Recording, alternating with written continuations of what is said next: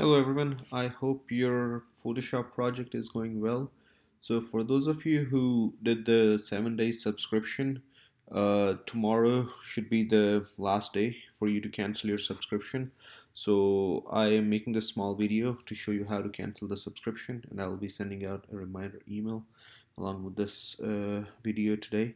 So when you go to your Photoshop account, if you're on Mac, you might have downloaded the Creative Cloud if not you can go through the website as well. But uh, if you have the, the creative cloud on your computer this is how you cancel your subscription. It would still take you back to the website so you'll skip this step if you are only using it on the web.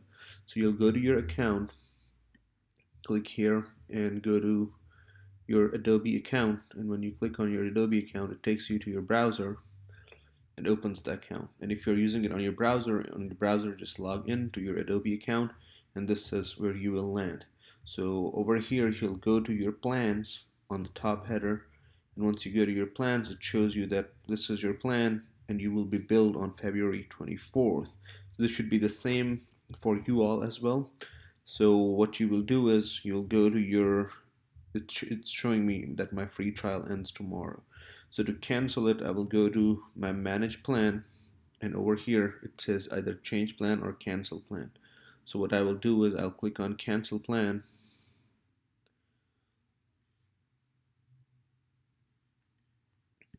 and I guess it asks you to sign in again. this.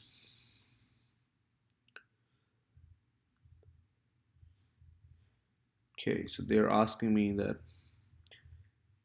why why do I want to leave? Because I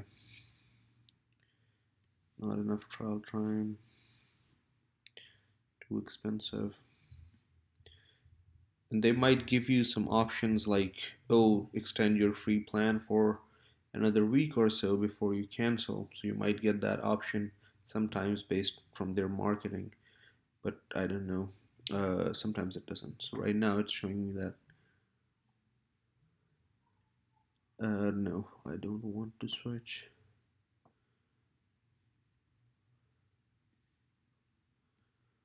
Okay I understand that. So, no, no thanks. And confirm